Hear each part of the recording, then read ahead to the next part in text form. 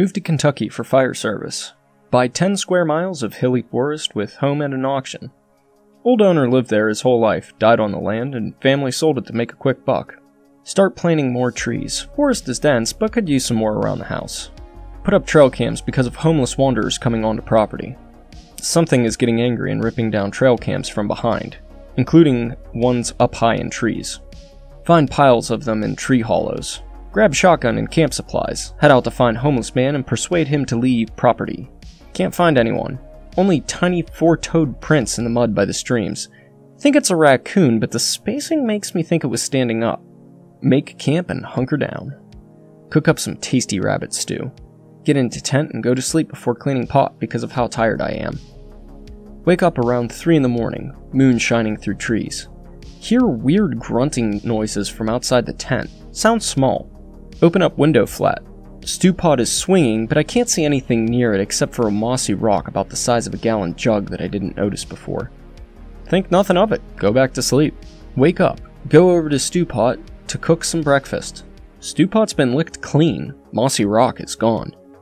Think that the raccoons must have cleaned it in the middle of the night, and the rock was the fat lump that did it. Pack up, search some more, and can't find anyone, but swear the moss around me is alive. Notice that the rocks seem to be moving whenever I look away from them. No sense of dread, just bewilderment. In the search somewhere, I lost my knife that I've had for a while. It's cheap, but it has a lot of sentimental value to me. Get home, tired and bummed out from not finding anyone and losing my knife. Go to sleep immediately. Wake up to light knocking at my door. Get up kinda groggy and open the door, eyeing where I keep my gun just in case. Peek through window. No one there. Grab shotgun, open door and poke my head through in case it was somebody visiting their new neighbor. No one. Only forest noises and the occasional butterfly. Step through door and feel my foot kick something. Look down. My knife is laying there on a small bed of flowers and grass. Look around, really confused but happy that someone found my knife and then angry that somebody was on my property and watching me.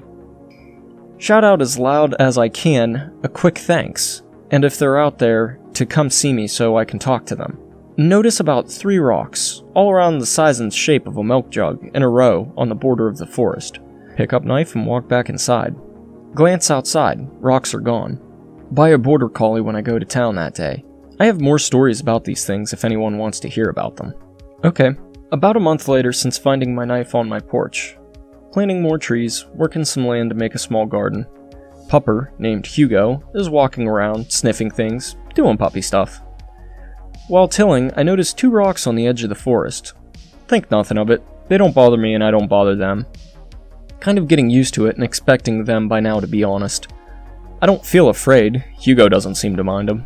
Start getting really into my garden, lose track of time, and look up to find Hugo to take him inside with me for a break. Hugo gone. I'm freaking out because I love the little guy. Look around frantically and see him by the edge of the forest sniffing one of the rocks. The rock he's sniffing shifts a little when his nose gets too close to it. I get up to run over to Hugo to keep him from getting hurt or something in case the rock tips over on him. That's when I see the moss on the rock shift and sprout a tiny, spindly little arm. I stop walking for a second and blink to make sure I'm not seeing something. It's hot and humid, and I haven't been drinking as much water as I should. Arm continues to extend slowly and tentatively towards Hugo, recoiling a little whenever Hugo's nose touches it. I start back up, a little cautiously to not spook the rock thing. I'm getting nearer to Hugo, about 50 yards away, and see that it's petting Hugo's head. Hugo is wagging his tail and generally seems to be enjoying it. I get about 10 yards away when I step on a twig and make a loud noise. The creature's arm shoots back into its body, and the rock starts tumbling frantically away. Hugo runs after them. I run after Hugo. I lose sight of Hugo and search for him until nightfall. I go back into my house to grab a flashlight and my camping gear to find my pupper. As I'm getting closer, I see a white and black lump on the porch. I start running towards my house, and as I get closer, I see that it's Hugo. He's laying on the porch, not moving. I'm getting more upset as I get closer. I see red and pink around his head and neck. I start sprinting, thinking my dog is hurt or dead. I get 10 feet away, about to bound up onto the porch when Hugo's head jerks up and looks at me. He stands up and comes to greet me with his slobbering mouth, clearly happy to see me. He has a little crown of red and pink flowers around his head and neck, and has a rope tied to his collar in my door. I hug him, Tears kinda well up because I've come to love this pupper so much. I stand up, shout a thank you to whoever brought him to me, go in and go to sleep. I've been on this property for about 4 years now, and have a lot more stories about them if people are still interested. I've gotten very close to them. I'm trying to build up my trust with the little things. About a year later, I keep seeing the rocks around my house, and they are getting closer and closer. Notice one is living in my garden now. Little different from the others, greenish gray and very round, almost spherical. Every now and then, I take a peek out the window and catch a glimpse of it moving around. Very slow and methodical. Garden has never looked more beautiful since it moved in. I go out to my garden often and see it on the opposite side from me all the time. Decide one day to go up to it and try to show it I mean it no harm. I am unsuccessful at this, it just tucks its arms and legs in whenever it sees me. Looks like a chubby sloth carved out of stone, but no mouth or nose from what I can tell, just two beady little eyes. I decide to leave it alone. It seems to be helping me with the garden, and I appreciate that. Notice that sometimes some of my veggies will be gone or half eaten and sitting by the stone. Let it have them. Leave some veggies near the edge of the forest. One day, notice the stone is gone. Veggies are no longer being eaten and garden is looking a little worse for wear. Stones are gone from the tree line. I'm genuinely sad that they're gone.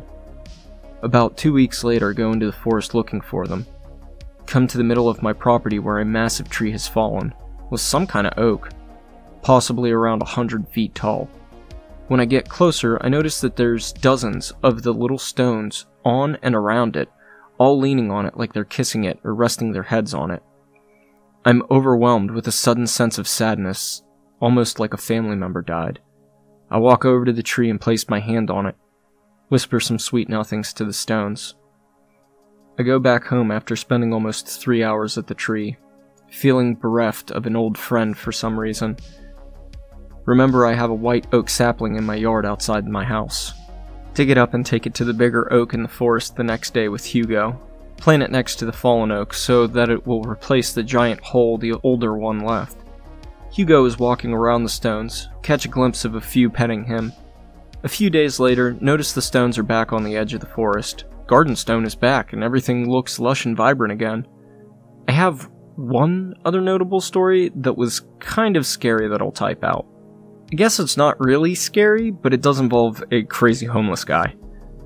Go out into the forest one day with Hugo to look around for bums, say hi to some friends, and just to be outdoors. Notice more and more signs of a homeless person living here. Trash everywhere, broken branches and plants, etc.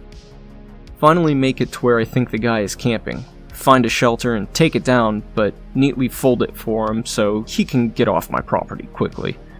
Start to getting dark. I'm getting a little worried that I miss him or he's dead somewhere on my property. See someone moving deeper in the forest, shout to him to stop, and talk to me. The guy has a pickaxe, so I keep my shotgun ready in case he gets violent. I see he's smashing something with it. Freaking out, think I just stumbled onto a killing. That's when I hear the unmistakable sound of rocks being smashed. I fire into the air and get his attention damn quick. He drops his pickaxe and puts his hands up, mumbling something unintelligible. My adrenaline is pumping, I'm shaking, and Hugo is going mad on his leash. I scream at him about smashing the rocks. He starts saying how they were following him and throwing stuff at him. I almost shot him then and there, but instead, I led him at gunpoint to the edge of my property and told him to get out and never come back. Few days later, get a call from the sheriff's office about a body they found near my property. Homeless guy, beaten to death and stuffed into a tree tells me there will be a deputy coming to talk to me. Deputy shows up about an hour later, questions me if I had any interactions with the homeless guy. Tell him no. He starts to leave. Turns around on my porch and mentions my stone fence is a little low, but looks good. Look around and see the entire edge of the forest around my house is surrounded by stones. Tell him thanks, and see him to his cruiser. He leaves. I look back at my house. All the stones are gone except for two. I've got a lot of small ones, like gifts and whatnot, they leave me flowers, sometimes morel mushrooms, things I've lost, etc. I've been giving them about a third of my veggies and they seem to like that. More and more show up in my yard rather than my tree line and only seem to move when they don't notice me there. They're very slow moving, and the only time I've ever seen them move quickly is when they roll. I have a lot more animals in my area now, and the forest and yard slash garden are much more lush and green when they are around. They seem to disappear during storms. I think they either go into tree hollows or potentially wait it out under other kinds of cover. The garden rock likes to go into a small covered trellis I built for it when the rain comes. Never heard them speak, and have only ever seen their faces a few times. It's just an oblong rock with black eyes that look like polished black glass. Very spindly arms and legs, not bony looking, but more vine like. They tuck back into the body and aren't noticeable. Four toes and three fingers and a thumb. Bodies are shaped like a bullet and they are about the size of a gallon jug. The garden rock is more round though. Their head sits on the front of the body rather than on top, and kind of blends into it. The eyes are wide spaced, almost parallel to each other, and about the size of a small marble. They are covered in moss and can range from green to burgundy. I think that might indicate age, but I don't know. When they stand up and walk, they look hunched over, and they tend to waddle more than just walk with arms out like they're carrying something under them. And then there's a little picture. Look at them little guys. Cute little forced stone sprite looking sons of bitches. There were a couple of things left in the house, like some personal documents, mostly health records. Other than that, I know the guy came from Holland and that he built a house when he came over in the 50s. None of his family wanted the land, they just seemed to want to make some quick cash. I did let them spread his ashes in the forest, though, because that's where, quote, he spent most of his time. With his wife, her ashes were also spread out there, according to their daughter. Seemed like a sweet old man. He liked woodcrafting, and I find some of his stuff here and there in the basement and in the shop. I left a figure out that he made on the porch, and the next day it was gone. Not sure if they took it or if it was some other animal slash vagrant passing through. Well, guys, that uh, that that's pretty much all I got from this thread. Um, really hoped you guys enjoyed it. Uh, be kind to your woodland creatures, and apparently they'll be kind to you. And uh, you know, we're all here on this magnificent blue marble together, so let's enjoy it while we're here. And as always, Ave Nex Olea.